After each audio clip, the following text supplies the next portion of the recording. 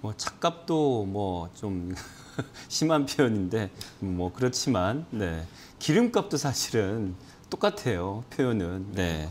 지금 그런 지금 시장에서 우리가 이 살고 있는데 뭐 그래서 뭐 또 하이브리드카에 대한 또 관심이 없다 보는 또 가는데 또 그렇다고 해서 또 차를 기다리는데 또 시간은 너무 오래 걸리고 네. 최고의 지금 최악의 상황으로 또 치닫고 있는데요.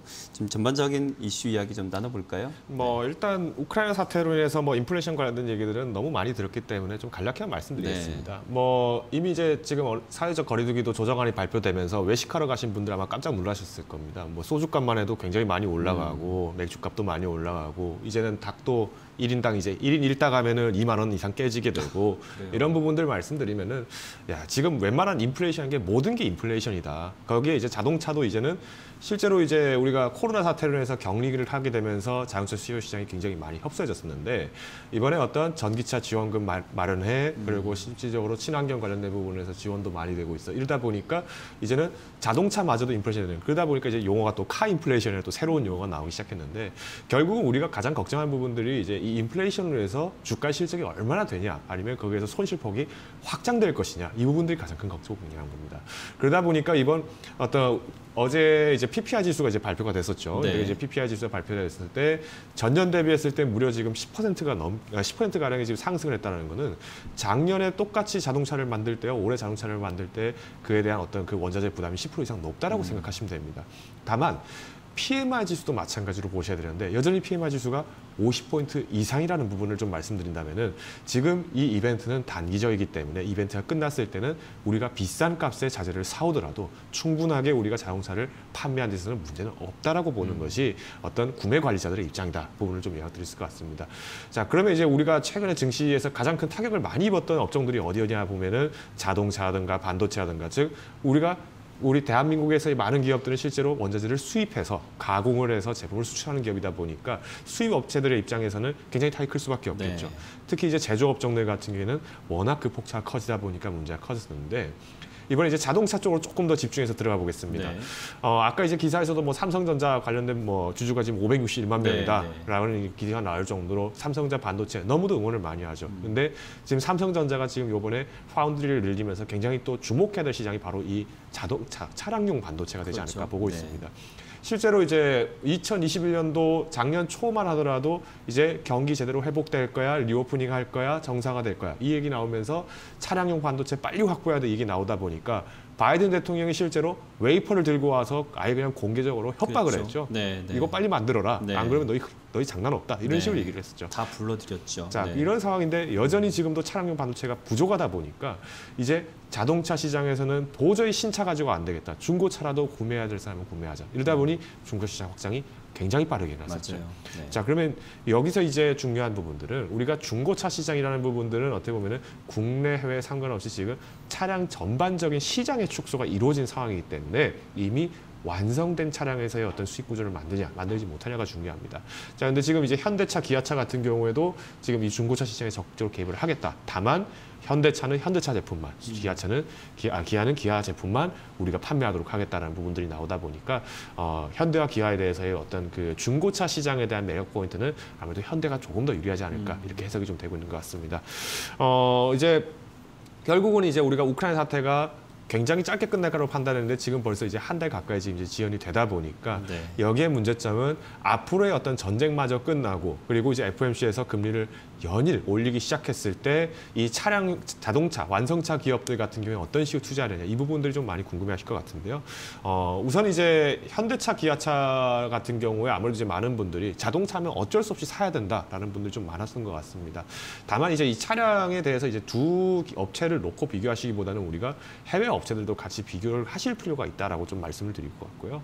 어, 그럼에도 불구하고 현대차, 기아차가 해외 업체들에 비해서 뭐 테슬라나 아니면은 뭐 포드라든가 포드 모터스라든가 이런 기업들에 비해서 결코 뒤지지 않는다라는 부분을 좀 강하게 말씀드릴 수 있는 거는 결국 우리가 유럽 시장과 미국 시장에서의 점유율이 이번 1월과 2월에 꾸준하게 지금 상승을 하고 있다는 겁니다. 그렇기 때문에 오히려 유럽향 매수, 특히 이제 이번 우크라이나 사태로 인해서 굉장히 어떤 자원 압박부터 시작해서 에너지에 대한 압박들 이 부분들을 타기 큰 유럽 시장에서의 매출이 늘어났다는 것은 지금 충분한 위기가 반영되고 있고 인플레이션 압박이 가장 큰 지역임에도 불구하고 여전히 어떤 매출 시장이 확장되고 있다는 점. 그렇기 때문에 경기의 안정화가 완전히 회복되었을 때, 경기 회복이 완전히 되었을 때는 현대차, 기아차가 볼 수 있는 부분들은 바로 유럽 시장이 되지 않을까 판단을 하고 있습니다. 네.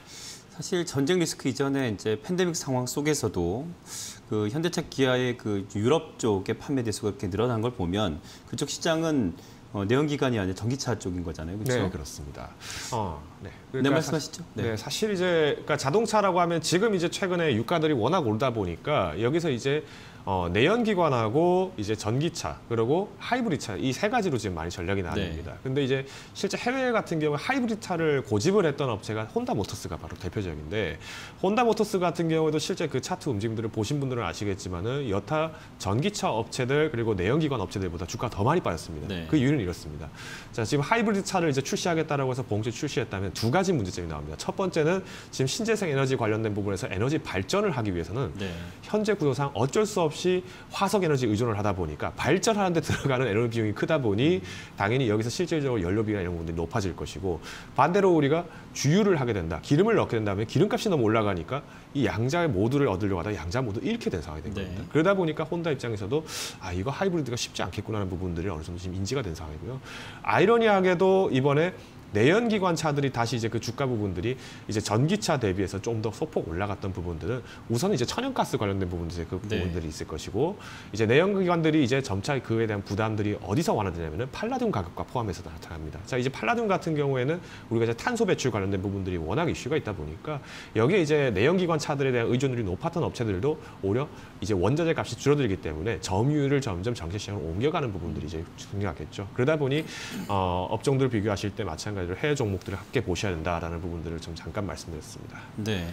사실 그 이제 전기차 얘기하면 또 테슬라를 얘기 안 할 수가 없는데 판가를 인상했잖아요. 네, 그렇죠. 그러면 지금 우리 현대기아도 마찬가지로 그렇게 따라 움직일 수 있겠군요.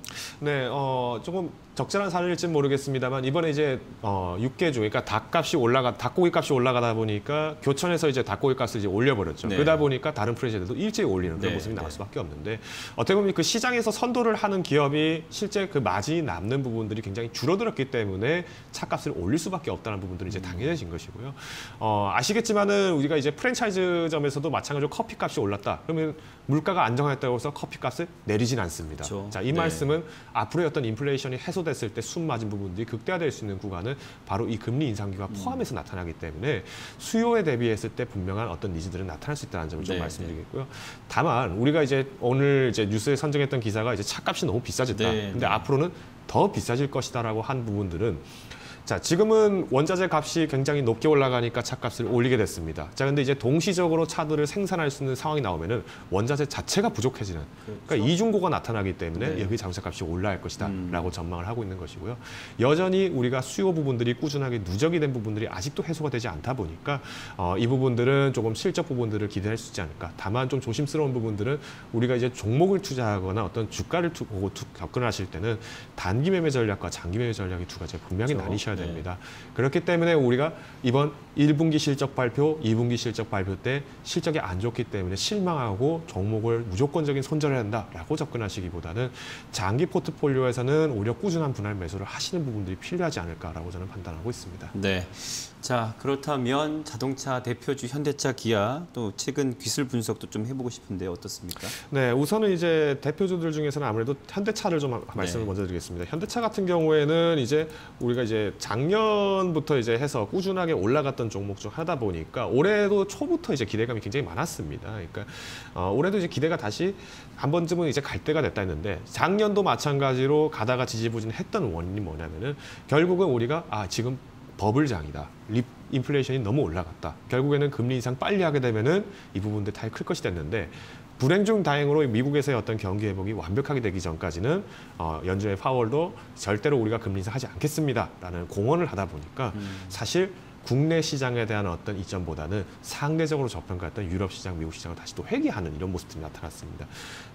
이제 우리가 국내에 있는 현대차를 봤을 때는 지금 월초, 그러니까 연초 대비를 했을 때 지금 무려 한 15% 가까이 지금 빠진 상황이죠. 네. 자 그러면 우리가 15% 빠진 상황에서 봤을 때는 과연 이 현대차 아, 이제 매력이 정말 없는가 보시기보다는 음. 오히려 해외에 있는 기업들을 함께 보시면 좋을 것 네, 같습니다. 네, 네. 자 앞서서 제가 잠깐 말씀드렸던 혼다 모터스인데요. 혼다, 혼다 같은 경우에도 오히려 이제 어, 경기 활성화가 되고 특히 이제 어떤 달러 강세가 되다 보니까 일본의 어떤 엔화도 부각을 받을 수밖에 없습니다. 여기에 이제 어, 강세를 좀 나타내면서 연초 올라갔지만은 실질적으로 경기가 전쟁이 시작되자마자 바로 급락했던 부분들이 바로 이 부분이라는 점. 음. 그렇기 때문에 오히려 우리가 혼다와 비교했을 때는 아 인플레이션 영향을 좀 더 많이 받고 있구나라는 부분을 알 수 있을 것 같고요. 어, 작년에 이제 전기차 매출이 굉장히 양호했던 이제 중국의 비아디 같은 경우에도 네. 조금 잠깐 살펴봐서 말씀드리겠습니다. 비아디 같은 경우에는 중국이 실제 어떤 어, 대대적인 어떤 숙청 작업을 했었죠. 그러니까 대기업들을 대상으로 숙청 작업을 했음에도 불구하고 꾸준하게 그래도 어떤 안정세를 잡아가기 위한 노력이 나타났다는 점은 결국은 우리가 종목을 선별할 때 실적 중심으로 갈 수밖에 없다는 점입니다. 그렇기 때문에 비야디 같은 종목들이 상대적으로 타 기업들에 비해서 좀 견고한 위치로 잡고 있다 말씀드릴 수 같고요. 어, 이제 국내에서는 또 이제 기아를 또 좀 잠깐 말씀드리겠습니다. 네. 기아 같은 경우에도 어, 현대차 비해서 기아는 그래도 상대적으로 좀 양호했다라는 음. 말씀을 하시는 분들인데 사실 차트상 움직임으로 보면 거의 비슷합니다. 네. 다만 우리가 기아 부분을 좀 살펴서 말씀드릴 수 있는 부분들은 우리가 알, 어, 앨라배마라든가 아니면 조지아에 있는 공장들 어, 현대차 같은 경우 앨라배마에 공장이 있지만은 조지아 공장에서는 또 마찬가지로 기아가 전기차 시장을 또 굉장히 점유율을 높여가고 있기 때문에 네. 앞으로의 어떤 어, 탈석탄 에너지, 탈화석 에너지 관련된 부분들에서의 이슈들이 나오게 되면은 결국은 우리가 친환경 자동차로 갈 수밖에 없습니다. 그래서 우리가 대표주 선정하실 때도 결국은 우리가 친환경 쪽, 특히 이제 유럽 시장에서의 점유율을 얼마나 빨리 높이냐에 대한 어떤 시간차의 개념이기 때문에 어, 우리가 의자 뺏기 놀이를 하듯이 음. 어떤 선점에 대한 필요성에 따라서 주가의 실적이 굉장히 많이 추종을 하지 않을까 판단하고 음. 있습니다. 일단 현대차, 기아 두 종목의 수급은 일단 외국인 기관이 아직 좀 양호하다고 볼 수는 없는 그런 상황인데요. 자 그렇다면 우리는 작년 제 기억으로는 두 종목을 굳이 비교했을 때는 기아가 그래도 상승 탄력이 좋다, 그래도 좀 매력적이다 이렇게 얘기한 전문가들이 꽤 많았었거든요. 앞으로는 어떨까요? 어 저도 개인적으로 이제 현대차와 기아 두 종목에서 이제 두 종목을 골라보라고 하면은 사실은 검은 소와 누런소 중에 누가 일을 잘합니까? 이런 질문이기 때문에 예. 조금 어려운 답변을 드릴 수 네. 있겠다 말씀드리겠고요. 다만 이제 조금 참고를 해보실 부분이라고 하면은 우리가 어, 이 종목을 접하실 때 외국인 보유를 한번 잠깐 참조를 하시면 좋을 것 같습니다. 현대 같은 경우에 현대차 같은 경우에는 코로나 이전만 하더라도 40 어, 40%가 넘게 43% 가량의 어떤 외국인 보유가 있었는데 지금 오늘 기준에서 보면은 좀 보유율이 굉장히 많이 낮았죠. 이제 거의 이제 26% 가 가까이 이렇게 좀 많이 떨어진 상황입니다. 그러니까 대형 종목들 같은 경우에는 마찬가지로 개인들이 많이 매수를 하다 보니까 어떤 실적보다 조금 더 주가가 조금이라도 비싸지면은 외국인들 입장에서는 과감하게 매도를 하는 시장이다라는 부분을 좀 알 수 있을 것 같고요. 반대로 이제 기아 같은 경우에도 지금 오늘 기준으로 했을 때는 보유율이 이제 34% 정도 이렇게 잡히고 있습니다만은 어, 마찬가지로 이제 팬데믹 이전 사태로 조금 돌아가서 좀 보신다면은 어, 거의 그래도 한 43%니까 현대차랑 거의 비슷하게 보유를 했다는 점입니다. 즉 외국인들이 상대적으로 좀 덜 팔고 있다라는 느낌 을 받을 수 있는 건 기아다 보니까 오히려 조금 접근을 하실 때 오늘 이제 기아 같은 경우에는 순매도가 좀 많이 나오기는 했습니다만은 네, 네. 어, 여전히 어떤 그 종목 접근에서 현대차와 기아 중에서는 두 가지를 보실 때 굳이 한 종목 담을 필요는 없다. 다만 어떤 전기차 시장에서의 그 매력 포인트가 좀 높으면 기아되지 않을까 판단하고 있습니다. 네. 자 그러면 당연히 지금 맥락을 들어보니 기아가 가장 좀 주목하실 종목인 것 같은데요.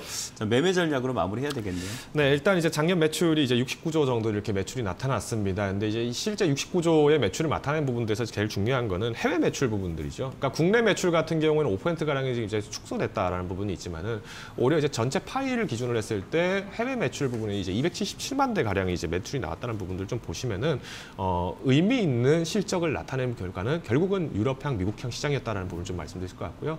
어, 자막 보시는 것처럼 점유율 부분들이 전년 대비해서 1% 가까이, 1%포인트 가까이 이상 지금 성장을 한 상태입니다. 그러다 보니까 어, 우리가 앞으로 종목을 좀 보실 때는 현대차도 올해 이제 이번 2월 달, 2월 달 같은 경우에도 점유율을 꾸준하게 높이고 있고 기아도 꾸준하게 높이고 있습니다. 다만 이제 어, 우리가 이제 기아를 조금 더 봐야 될 이유를 마지막 이유를 꼭 꼽아달라라고 하시는 분들에서 좀 말씀드린다면 어, 구글에서 지금 전기차 관련된 모델로 모, 테슬라의 모델 3 그리고 그리고 어, 니로 EV라든가 아니면 EV6 이와 같은데 기아 자동차들 관련된 부분들 순위가 조금 더 검색이 높았고요. 어, 실제로 이제 니로 EV 같은 경우에는 이번 2월에 있는 유럽 전기차 시장에서의 판매량 자체를 조금 다소 선도를 하다 보니까 어, 이런 부분들이 좀 장기화될 수 있는 기대점도 충분히 방점으로 한번 찍어보시자라는 의미에서 기아를 추천드리겠습니다. 어, 목표가 같은 경우에는 이제 최근에 이제 주가 손실이 굉장히 많다 보니까 종목을 이제 손절을 해야 되냐라는 부분을 좀 말씀하시는 분들 굉장히 많으신데 단기적인 접근을 하시기보다는 조금 장기적인 접근을 하시자라는 의미에서 연 말까지는 8만 5천 선을 터치했을 때는 한 번 정도는 분할 매도 혹은 전량 매도를 하시면서 차익실을 하실 필요 있다 말씀드리겠고요. 손절가액은 6만 5천 원으로 제시드리면서 우리가 증시에 패닉이 왔을 때는 조금 더 실리적인 현금화를 하시자라고 말씀을 드리겠습니다. 네, 뭐 자동차 신차든 중고차든 가격이 많이 오를 것 같습니다. 뭐 아무래도 어, 주문 사정이 더욱 더 어려워지시겠지만 이 관련주들, 자동차 대표주들로서 투자 수익 내시는 건 어떨까 싶습니다. 자, 오늘 어, 주식회사 플래처의 어, 김덕호 대표와 함께했습니다. 오늘 말씀 고맙습니다.